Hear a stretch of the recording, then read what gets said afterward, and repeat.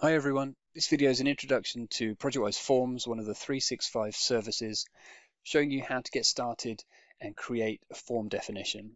So let's start at the beginning. You need to have a ProjectWise Cloud project. So if you don't have one already, create one or go and ask your ProjectWise administrator to do that for you. Once you have the project, you go to connect.bentley.com and log in using your Bentley IMS credentials and you will get to this front page. From here, you'll see a ProjectWise projects box with recent projects in.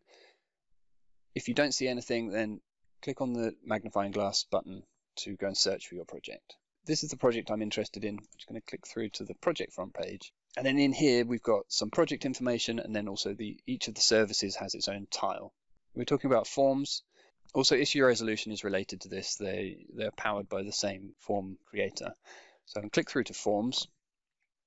And this presents us with the, the user dashboard. So every user on the project will see this dashboard. And we'll do, I'll do another video to talk about how to customize and configure this, uh, this page. But today we're talking about how to actually create that, that form definition. Assuming you have a form editor permission on the project, you'll be able to see this cog icon.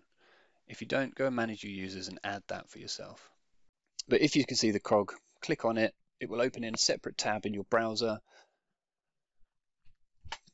and it will show you all of the form definitions that are already associated with the project. If there's none, you've got a couple of options. You can search for forms that exist in another project and you can copy those across. Uh, you can use our predefined templates or you can click create form and create a new form from scratch, which is what we're going to do today. So if I click create form, it opens this new form dialog box and there's four options here. So let's just talk about those options. Discipline, there's two options. These are fixed, it's general purpose or issue.